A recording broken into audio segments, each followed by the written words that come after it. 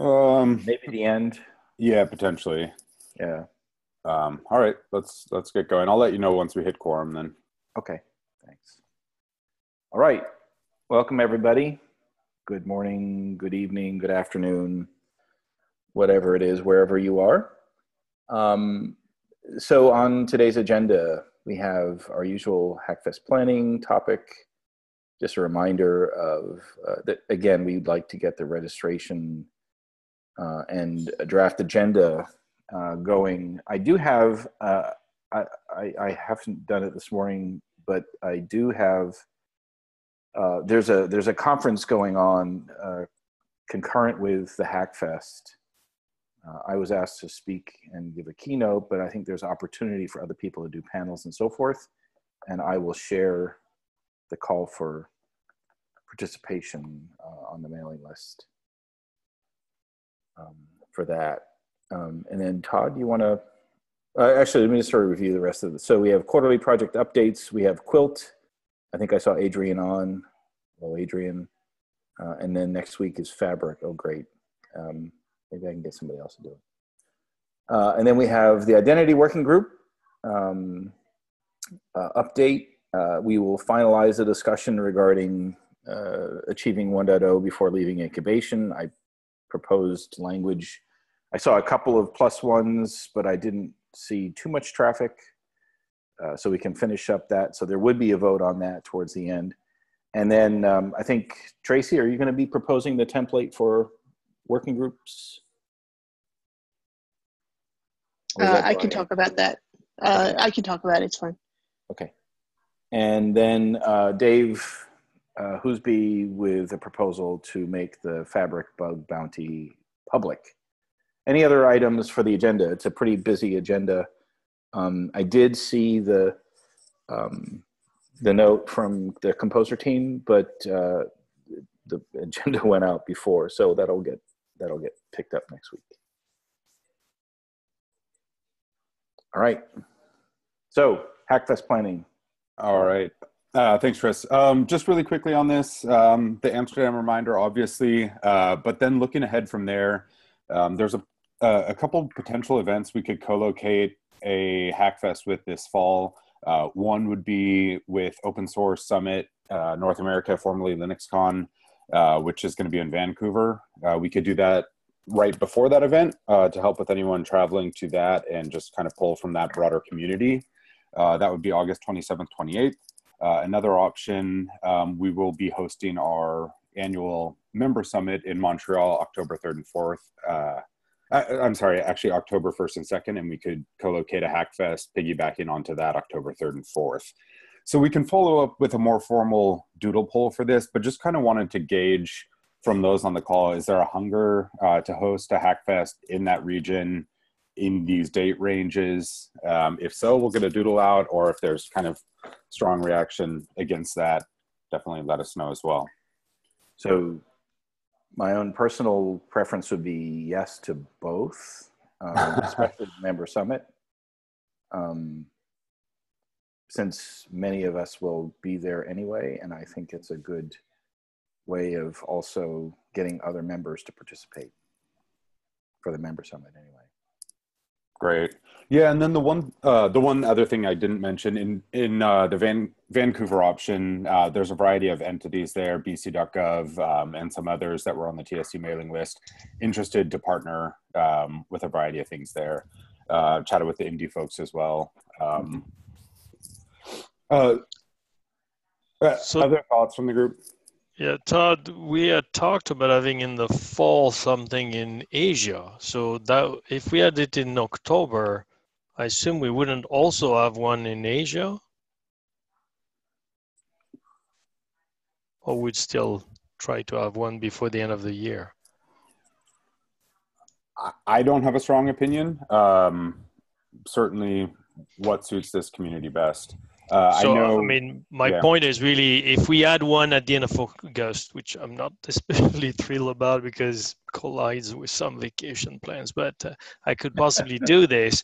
And, and the point is, you know, we could still have plenty of time to have another event before the end of the year. If we start having an event in October, it's getting Yeah. pretty much close to the end of the year. Yep. Uh, that might be the only one we can squeeze in. If we had the Hackfest in August in New York, I'd be happy because then I could go to the U.S. Open. yeah, we all have our own little. Yeah. Okay. Um, aside from those, any other major red flags? Otherwise, we can get a doodle pull out, get gauge interest there, and then also explore um, where we could stack a Asia Hackfest in. yeah. All right. Uh, sounds good. All right. Thanks, Todd. All right. So, Adrian, quilt. Hey, how you all doing? Good. My line okay? Uh, we can. I can hear you fine. Okay, great. Sorry, um, wasn't really sure I'm on a DSL line. So um, Quilt has uh, progressed slowly, but uh, has progressed. We had a bit of a, um, I wouldn't say a hiccup, but we we had to deal with a bit of a change in direction on the core Interledger protocol work in late December, where there was a bit of a um, kind of refactoring or, or, or change in, in the approach. So some of the code we've written had to be refactored quite a bit, and um, so so set back a little there. Um, unfortunately, not a huge amount of progress on bringing in new contributors. There's one or two um, who are promising and have made some good contributions. Um, but in general, the goal is to continue adding features to the Quilt libraries and the Quilt um, code base to get sort of feature parity with the JavaScript reference implementation. Um, and we have, uh, we're planning to get involved in the upcoming Hackfests. Uh, we have a, a, a small maintainers kind of face-to-face get together in about two weeks time where we hope to um, also push out quite a bit of code uh, to get ourselves to what we would consider a kind of beta um, level um, release. And then uh, the only other issue worth pointing out is Interledger has standardized on uh, conditional payments based only on a SHA-256 hashes. Um, and so we, we're not using the crypto conditions library at all anymore within Interledger. Um, but it's, it's kind of a useful library with uh, interesting functionality. So um, I know Ripple as a company are going to continue using it internally and open. We're not sure about effectively a um, standard library for like uh, encoding multi-sig signatures and, and the like. Um, so it's probably not the right forum now to go into details of what it is, but that's something we'd like to resolve. Uh, whether that maybe there's another Hyperledger project where this fits, or uh, whether Ripple should just take it on internally and run it as a sort of Ripple hosted open source project. Um, we kind of open to suggestions on that.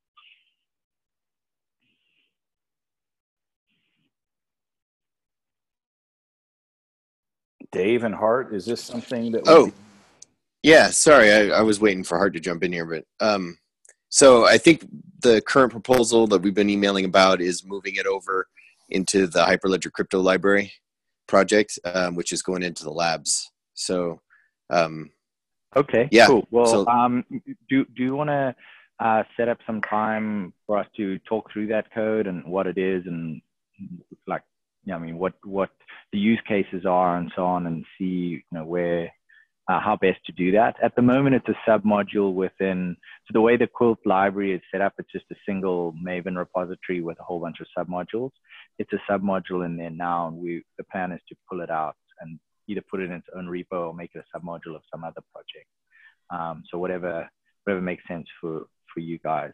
Um, probably not something we need to get into details on this call, but if we can go away from this call with uh, contacts that I can link up with post call to progress that, that'd be great. yep. Uh, talk to me or Hart or both of us actually. So yeah, we can definitely meet and because we were emailing about this that it, it sounds like the catalyst for getting the first bit of Hyperledger code or Hyperledger uh, crypto library code together and get the repo out and all that stuff. Okay, So perfect. it's a great Okay, opportunity. uh, I'll I'll I'll, uh, I'll start a mail between the three of us and anyone else who's interested. I can copy them in. Yeah, Great. Definitely. Sounds great. Okay. Uh, any other questions? Anything else um, on Quilt that anyone's interested in?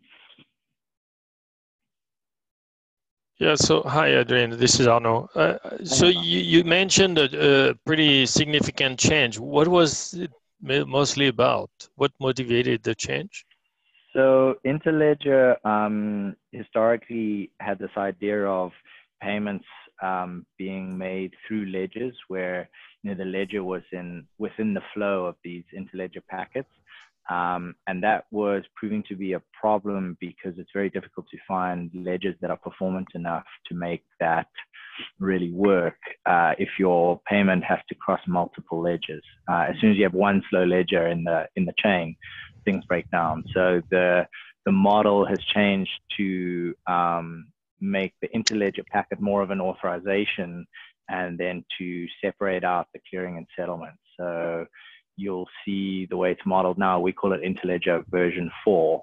Um, I don't know why we went from one to four. There were a few experiments that never that never really made the light of day.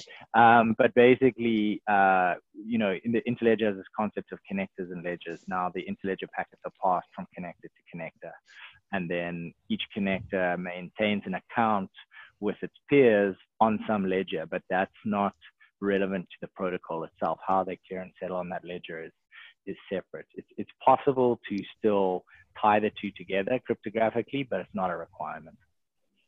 Interesting. And what is the status from a standardization point of view? You were trying to push that through IETF. Is that still current? Uh, yeah. So the the specifications around that are started to stabilize somewhat. Um, by that I mean most of the work is now moved on to other sort of the other parts of the stack, and so we will probably try again in terms of pushing that through a standards process. I'm not sure where that would be. We've struggled with IETF just because it's the wrong stakeholder group. Um, most people at IETF are interested in, you know, uh, communication standards more, sort of web and internet.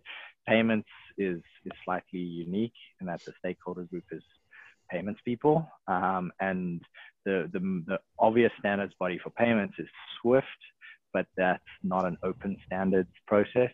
Um, in the same in the same vein as Right. IETF or W3C. So we we're trying to kind of figure that out. Right now we're in the we're in the sort of mode of we, we, we write the specs, they're published on GitHub, they're open for anyone to implement, we're building implementations, and we'll try and get, you know, a network established of people running implementations. And if, if that starts to get some, you know, momentum, then the standards effectively become what is implemented in the network.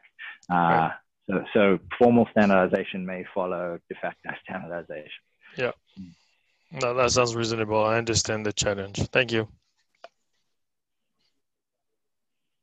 Any other questions for Adrian? Okay, thanks, Adrian. Great, thanks. Who's up next? Vipin? Yeah. Uh, Can you hear me? I can. Okay, great. Because I'm using a new uh, system and sometimes it drops out. Anyway, uh, I, I hope everybody has the um, link to the um, working group update, um, which is Yeah, Todd put it in the chat in the Yeah, TSC uh, channel. yeah, obviously, I'm not just going to read what is there. People can Yeah. read it for themselves. Um, so I'll go through it uh, pretty rapidly because uh, essentially the working group uh, holds audio conferences every two weeks, and we have pretty much been stable on Zoom. Um, we have quite a few people uh, who are interested in identity uh, showing up uh, on the calls. and we out of which uh, there's core group of probably eight or so, and uh, we also have a couple of attendees, uh, new attendees every session. Um, and we are a forum uh, for discussions on identity and blockchain identity in particular. Um, and the main work product, of course, is uh, meant to be the paper and also a possible implementation of an identity uh, module that would allow uh, one, any blockchain uh, implementation that we have currently to uh, use the identity library. Two, uh, to interoperate, help interoperate. So th that is a pretty, you know, stretch goal, so to say. The the paper itself has been dragging a little bit because, uh, you know, people uh, show up, uh, but uh, editing the papers proved to be a big you know, contributing to the paper uh, is always, uh, you have to, it's like pulling teeth. But uh, I've tried to set up a new uh, model in which um, we uh, ask for volunteers and ask for a quick turnaround. And we notice if some people are not uh, doing, you know, what they're volunteered to do, then we quickly fall back on others so in the last uh, couple of sessions, we have had a lot of contributions. Uh, uh, and in addition, we also work with others to create paper, you know, papers like GDPR, which are relevant to our uh, mission uh, and on biometrics. Uh, and we have unconference style uh, sort of uh, presentations, uh, impromptu presentations on various topics which deal with identity, especially the, you know, lots of institutions that, or, or um, let's say conferences or uh, groupings that discuss identity and then uh, the learnings from them, from them, and as to how it applies to uh, blockchain identity in particular. Um, the identity of the nodes uh, is uh, been, uh, you know, is taken on by the architecture working group. So uh, I also participate there. So we have pretty much similar cast of characters uh, in, in those uh, meetings as well. Uh, in terms of um, the planned work products, we, we want to produce a draft version by, you know, by summer if possible. Um, and also plan a uh, implementation with interface definitions, uh, you know, in, in a short period of time. We really need people from the incubator DLTs to show up uh, to be uh, active in this, uh, you know, in, in all the work products that we do we do get uh, people occasionally, but most of them are not directly involved with the DLTs that uh, we incubate. So, except for the Indy folks, of course, who are uh, much more tied to identity, uh, we rarely have people from, let's say, Sawtooth or Iroha or uh, Quilt or any of those showing up in this identity meetings. And uh, of course, the acknowledgements to the most uh, active participants and many of the regulars.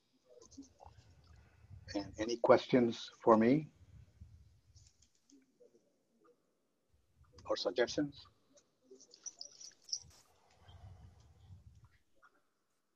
Any comments, questions for Vipin on identity?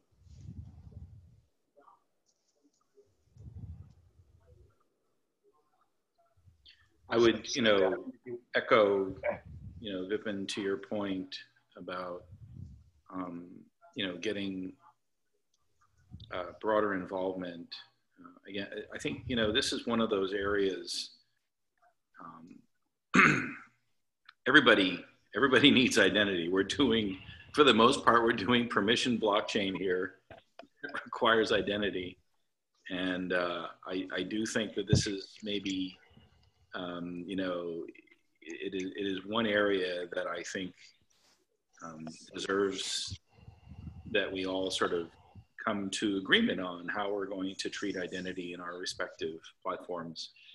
Um, and uh, so I, I, I, would encourage, uh, I would encourage some of that participation. I think um, uh, certainly I can say that from an IBM perspective, I think you'll probably see a, a renewed interest in that. We've been sort of, um, we've been on a particular course, and I think you know we're we're going to be doing a lot more around Indy, and uh, so I think you'll probably see greater participation there. Any other? Oh, I, I did have the, the, the one the one thing that I did you know that struck me was you said you were talking about potentially beyond just writing a specification, but also working on implementation. Would that be, you know, sort of proposing a new project? Is that proposing changes to Indy? How, how do you see that playing out? Yeah, we had discussed this during the creation of the charter. In fact, I think only the identity working group was ever tasked uh, of all the working groups with uh, mm-hmm. implementation. We had envisaged it as a uh, sort of a thin layer around uh, uh, a elected uh, blockchain solution. Like Dave had some suggestions, for example, saying, why don't we start with something very concrete, like how do we interoperate between Fabric and Sawtooth? Uh, you know, using Indy or using, mm-hmm. uh, you know, an identity utility. So you'd have a, a a layer that would create some kind of an adapter uh, situation where we could uh, use that to do the interoperation. So once you have an adapter from uh, from Fabric to Indy and another one from uh, Indy to Sawtooth or the other, you know, whichever way you want to think about it, mm-hmm. then you have some uh, framework around which you can create this interoperation. And mm-hmm. also, uh, it is possible uh, if, uh, you know, if, if we think about it a little more deeply, to even replace the identity framework uh, that is followed in, let's say, Fabric or in uh, Sawtooth with attachments to Indy. Of course, we would need uh, uh, one more thing, which is you know a kind of a adapter to legacy systems. In fact, a lot of work is happening in, I, I believe, in uh, in the W3C and other places. Uh, the distributed key management systems, the uh, DID, TLS, you know, those kind of things are trying to build that bridge. It is rather ambitious, but I think it is doable, uh, especially if we keep persisting. And I think the reason why some of these things did not come to fruition so far is because uh, we are only uh, starting to uh, uh, get some of these solutions, uh, you know, the DID spec itself was just released last year. And then, of course, there's a whole bunch of people who say, you know, why even bother with DID? Why not use, um, you know, the existing legacy stuff, the URNs. So there's both camps, and we have to uh, reconcile them. I think identity working group is a place where we can air those concerns and try to reconcile them. Um, you know, so that's another uh, use of this forum.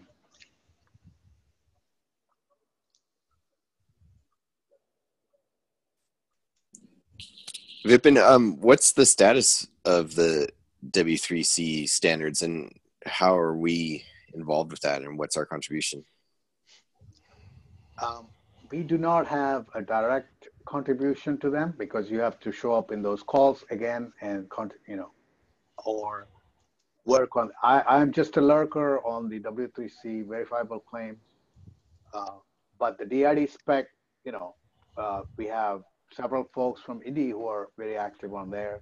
And they're also active in the identity working group and they uh, sort of cross pollinate that thought process uh, with us and also contribute to the paper. Uh, so the vision is shaped by, you know, what's happening outside uh, just the blockchain space or just the uh, Hyperledger uh, what is it now called? Not umbrella. What is it? Uh, Dave, what is the new term? Greenhouse. We're using greenhouse. greenhouse. Yeah, greenhouse. So we are going to have uh, plants shooting out the, uh, you know, the openings, the, and it's going to be one of those greenhouses where you go in and you're going to see lots of, lots of growth.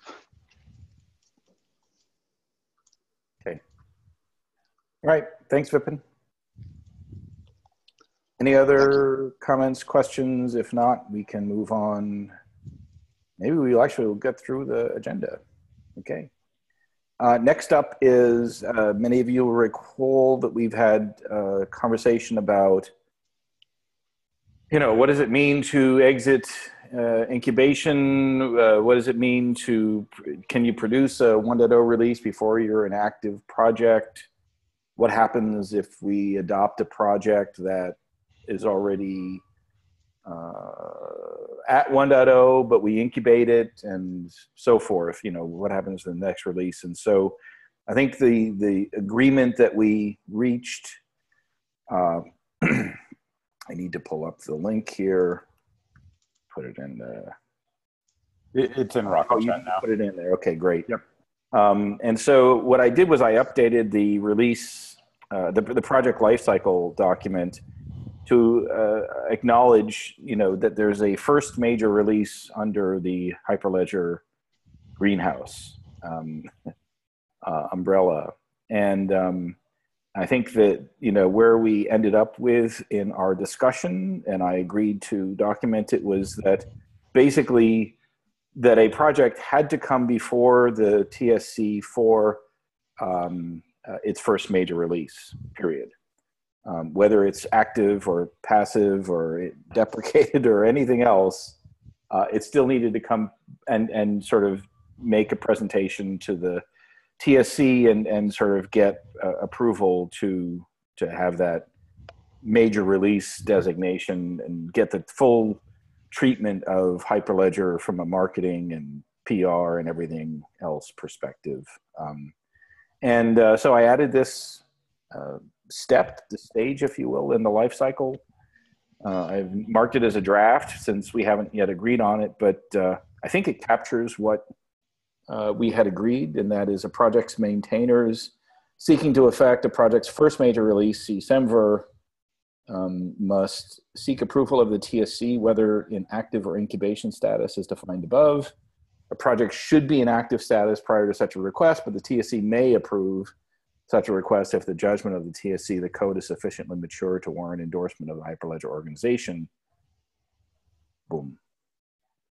So, um, comments, questions, suggested edits,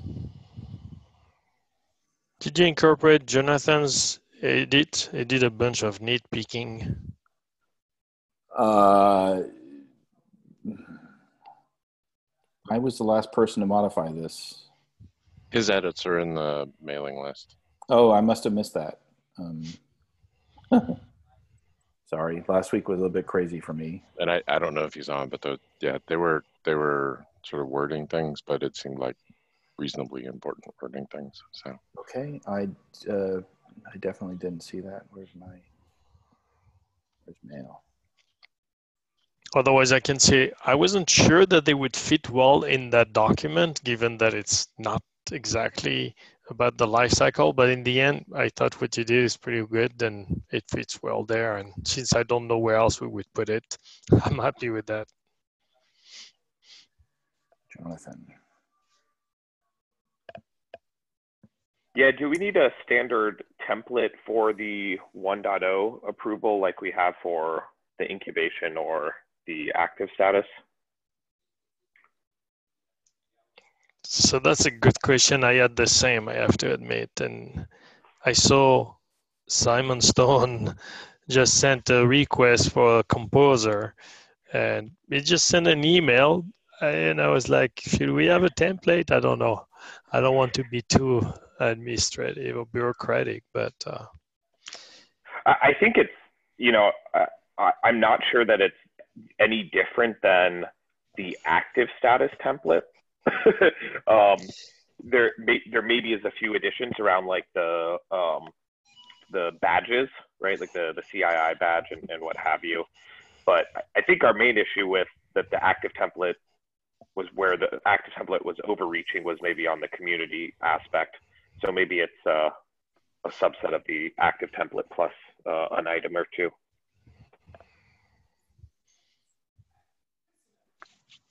Yeah, so maybe one way is kind of reuse the, we could instruct people or recommend that they use it and, and just to highlight why they are not, what's the challenge being just active. Yeah, I think that's probably a, a good thing. I'm, the, I guess the thing that I'm thinking is, um, are the, is there anything above and beyond the active template that we would want for 1.0 but not explicitly for active? Like like test coverage and I I guess some of that's actually already in the active template. Um, Yeah. Right. it- I was just thinking it may be useful so that we, you know, the mile, you know, the sort of the milestones are clear to those as the people are preparing to come in. And I mean, from what I can tell, Simon pretty much did just that, by the way. Huh? He, he says, okay, we've got all of these things covered. We're just missing the, the community. So it fits exactly the use case we were talking about, which seemed to be, unfortunately, somewhat common.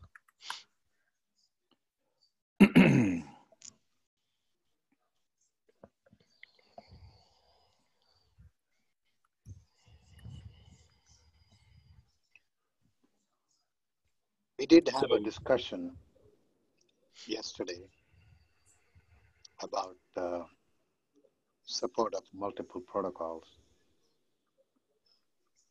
in the um, architecture working group. Multiple. Uh, I'm sorry, but I, I guess I'm drawing What, what I mean is, uh, you know, for uh, something like Composer, uh, which supports only Fabric, uh, you know, we were uh, wondering how, not, not just, it was not just about Composer. In fact, it was before the, before the uh, uh, proposal to go 1.0 came out, which was around three o'clock our time, because this was before that but we were discussing, uh, you know, cello, explorer, same, uh, same questions, which uh, seem to come up with uh, depressing uh, regularity. But um, we, we, we were not focused on that aspect, which was more about, uh, you know, how to uh, bootstrap into a multi DLT world. That was anyway. That that may not be germane to this discussion, but uh, uh, but I, I was just throwing it out there in case you didn't uh, attend or listen to the.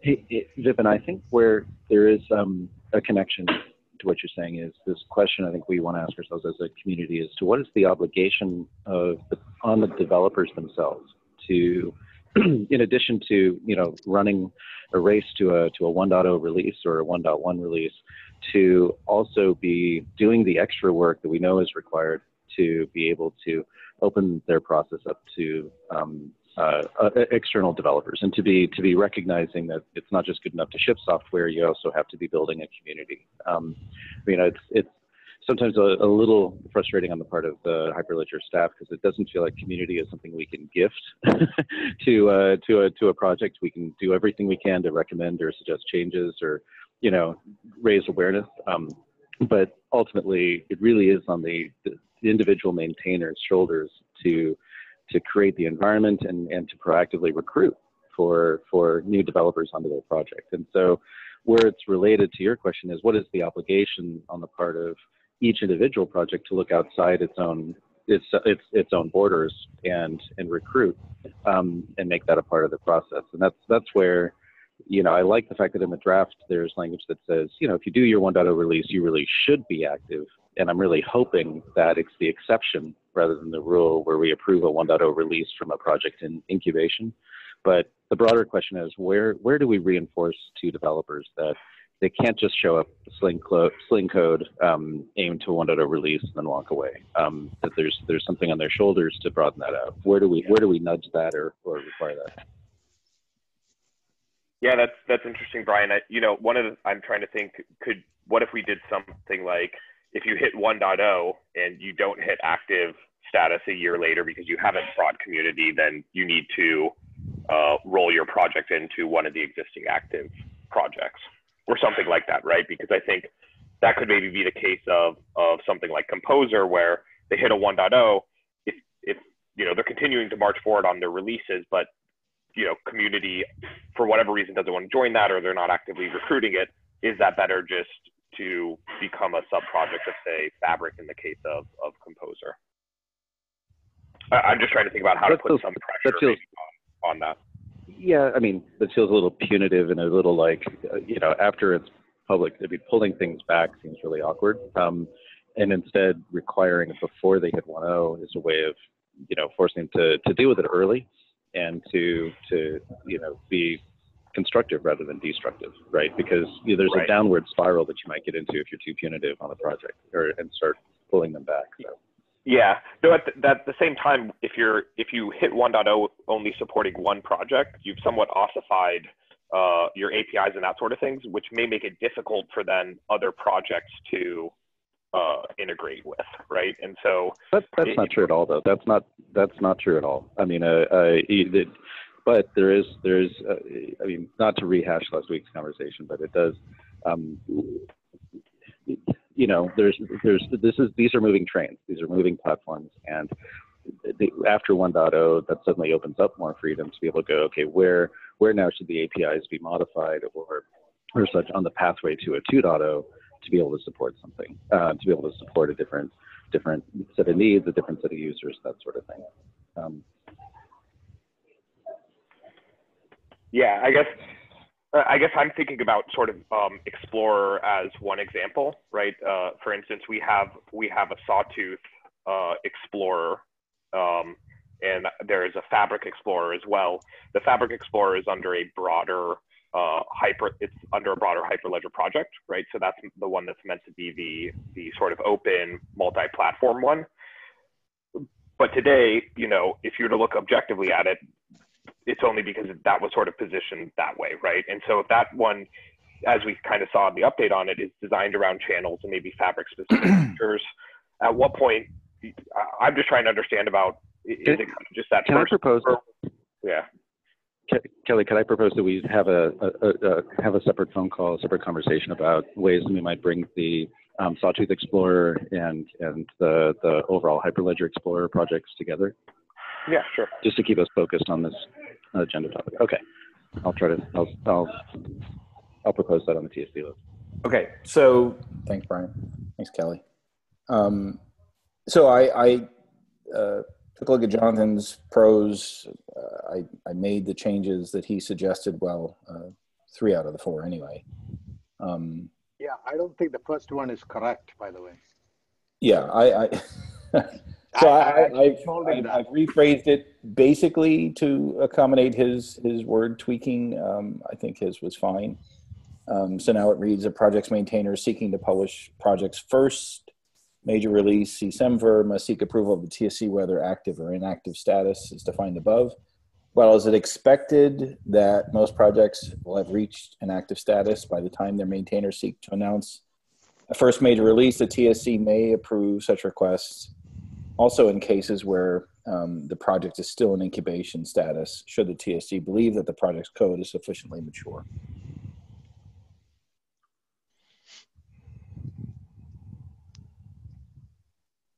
I think that works.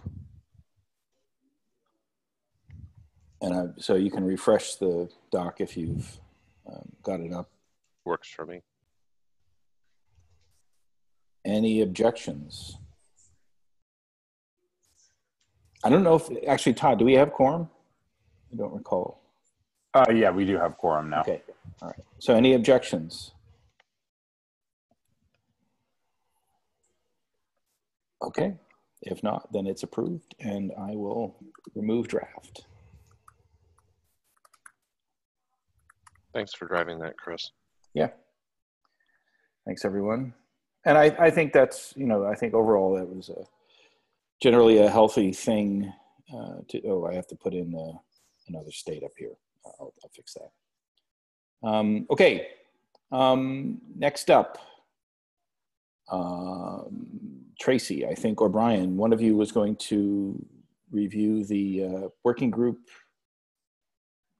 template. And Yeah, so Sure, I I'll- can I'll- that. I'll- Todd, t- Okay, Brian, you want to do that? Go ahead, Brian.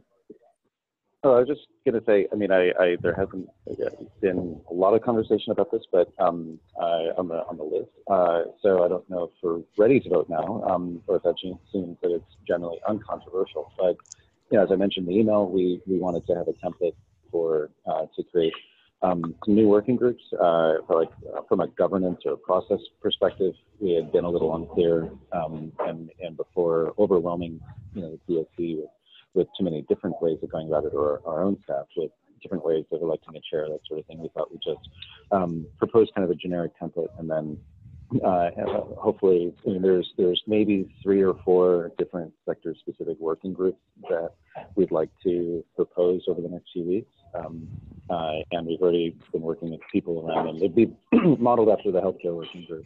Uh, but before delivering that, we thought we'd try to just help help the TSC exercise its oversight um, prerogative by uh, trying to be kind of semi-standardized about this. Um, I recognize there's some existing working groups, particularly technical working groups, that aren't following this model. This wouldn't, you know, we, we could grandfather all of those um, and maybe converge eventually. Um, but uh, uh, anyways, that was the rationale behind it. And this got a lot of back and forth amongst the staff, but um, now it's time for of um, back and forth with feedback from the TSC, or if it looks good um, and you're ready to approve, that would be great too. Yeah, so Brian, um, while there was no comments on the, the mailing list, there were some comments made in the actual document itself um, that we should probably go through and just uh, make sure that we are all on the same page. Okay. So I'll- I um, can go I- through I those. Could you go through them? Yeah, definitely. So uh, the first comment that we have is under the work products. Uh, so a question was asked. I suppose we wanted to have a research working group where we discussed new blockchain research and the focus was on learning rather than direct output. Participants might find it quite beneficial even if there were no outputs. Would this have a place as a working group?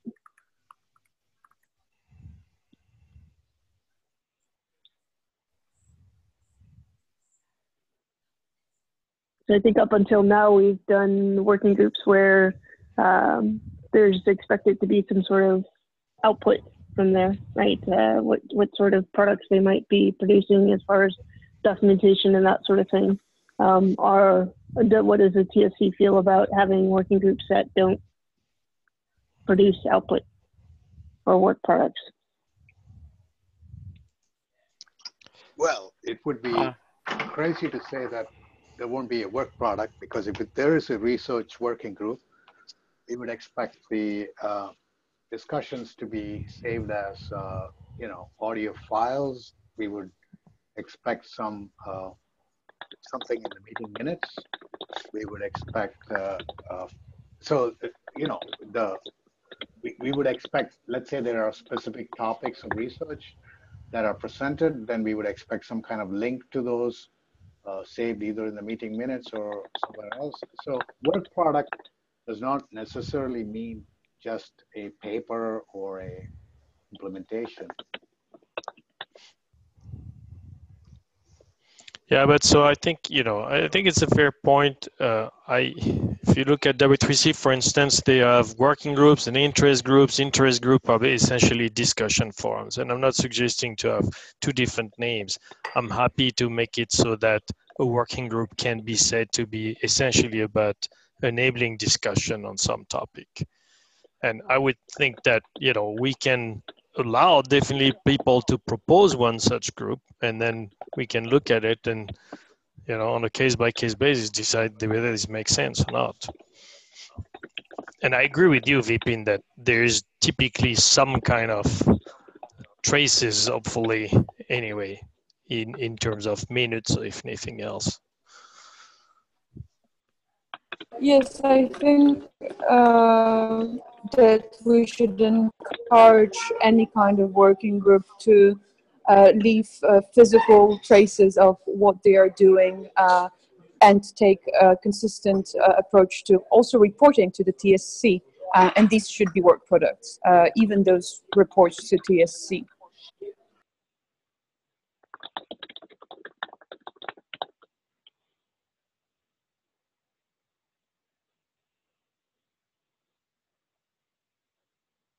Okay. Um, so I've made a comment to whoever that anonymous person was uh, to note kind of the discussion here. Um, the next comment on here is uh, somebody believes that uh, email should be provided an initial set of emails for those initial participants. Um, somebody else says it's considered PII and thus shouldn't be there for anti-spam reasons. Yeah, that was me with the second comment. I apologize. Um, Oh, so cool.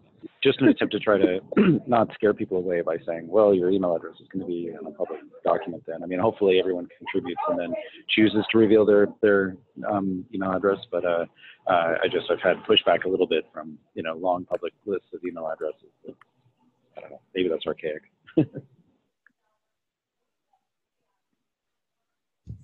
but i guess we're not forbidding people from putting their email address if they want to and the template seems to be saying this and i think that's maybe what triggered the whole thing i think it should say that it should at least have the names and organizations or affiliations of those people that's about it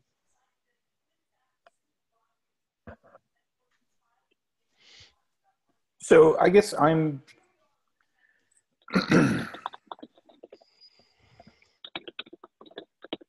I guess I'm struggling with the the the the whole concept of initial participants. Um,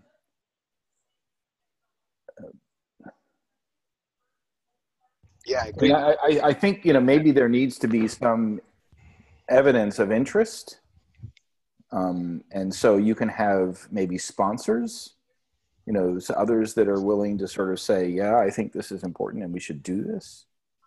Um, I agree it shouldn't be emails, um, but um, no but that's a list of people who say hey if you create this i will participate I, I wouldn't call that. it initial participants because it's not necessarily the case, but I would say sponsors. I mean, that's what we've done with other projects. Is we say what are the project sponsors? Or who It's a bit different. I would say maybe there's a different name, but uh, Yeah. interested Yeah, I'm willing to find parties, we can make it if you want. Interested parties or something like this.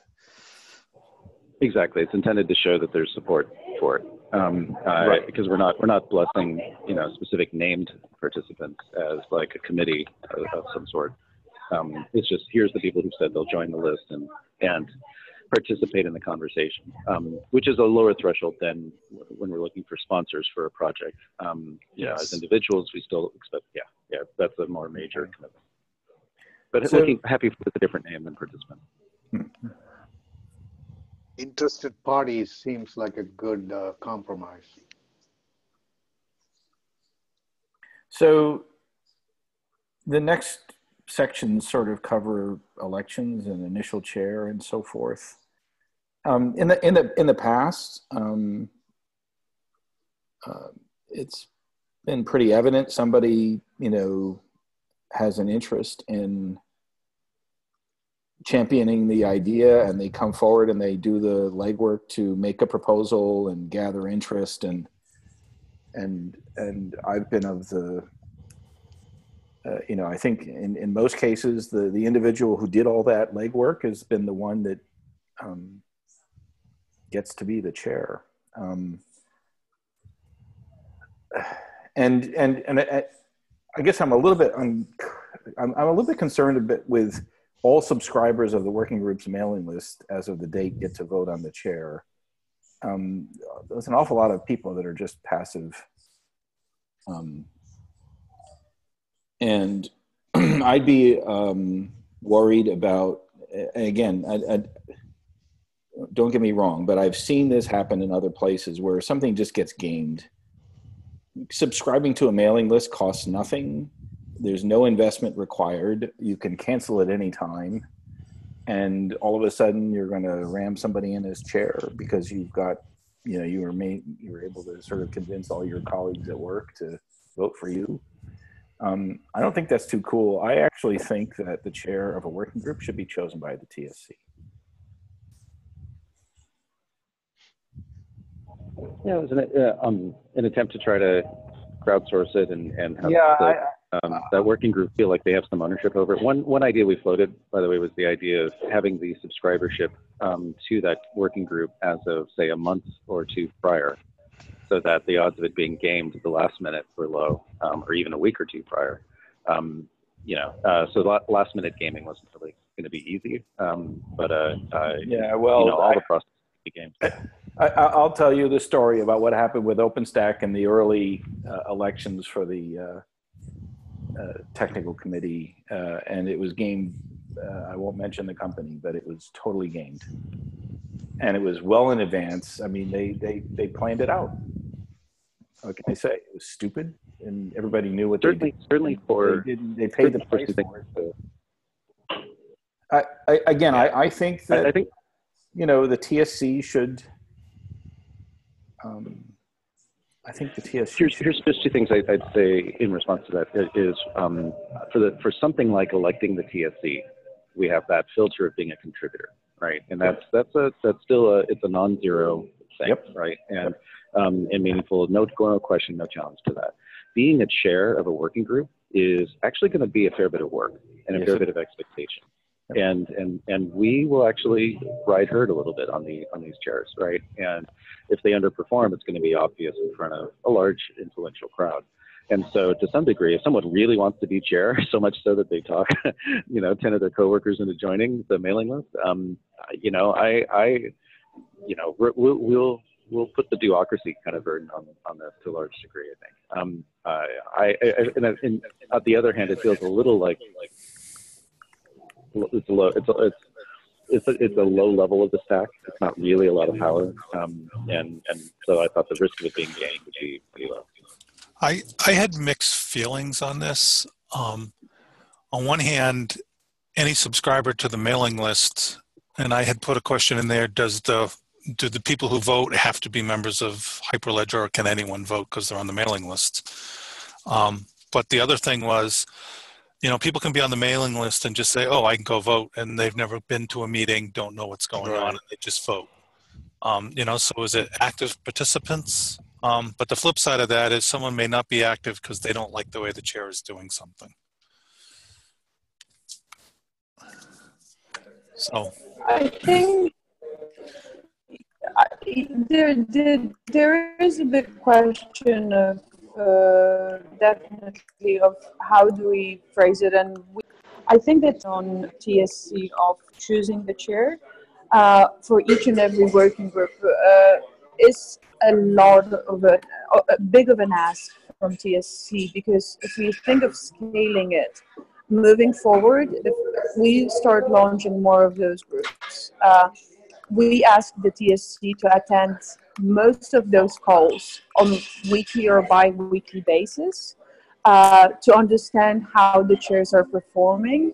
Um, and there, we envision launching at, at least three, probably four uh, vertical working groups. That's a lot. Um, so I'm not sure if this is something that TSC wants to take on from uh, an effort perspective. Uh, you are right that uh, probably active participant participation would be better than just subscribing to the mailing list. But how do we measure that? Um, is mailing list the right place, uh, or is it active on the calls? Because someone not necessarily wants to be just active on the on the mailing list is, an, is another thing. That's why we kind of went ahead and said, let's choose everyone who's subscribed to the mailing list and we will be able to monitor, you know, last minute uh, subscribers as well. If we see all of a sudden huge jump in subscriptions, we are able to uh, then point out these people and kind of behind the uh, door um, point them out and resolve that issue uh, rather than uh, deal with other aspects uh, if we choose other mechanisms. at the same time, eh, you know, I I don't know that we have. Maybe there is a problem where I don't know. I'm not aware of, but I mean, we have had working groups for over two years in existence. We never had this election process for the chairs. They kind of came about naturally because they were, as Chris mentioned, they were at the leading front of proposing the working groups. They volunteered, and as far as I know, they're doing a good job. We see those updates now. They are stepping up to make that happen, and I don't know. It feels a little bit to me like we're solving a problem that doesn't exist. And maybe in doing so, we are going to create a new one, which is along the lines of what Chris was mentioning some kind of gaming if somebody wanted to. And so. Tell you what, because we're at time, why don't, um, and because there has now been conversation on the um, Google Doc, why don't we commit to um, continuing the conversation on the TSC list and, and in comments here, and we will try to tee up here are the three or four open questions and then bring them back to next week's TSC meeting. And if we can, you know, pose them as yes, no, or, or kind of, you know, option A, option B, then maybe we can come to a close by next week's call. Does that sound good? Yes, it does. And great. This we is, are these are all great top, comments. So thanks again, everyone. Another packed agenda. And uh, next week, uh, we'll put Dave. We'll put you up top. I think it's been three weeks now, so uh, we'll put. You I up appreciate that. The, the Composer. proposed uh, deadline is is approaching fast, April seventeenth. Yeah, we'll put you up top, and then uh, uh, we'll have the uh, fabric and performance and scaling working groups, and then we'll have composer. Thanks. Okay. Yeah. Thanks, everybody, and talk at you all soon. Thanks.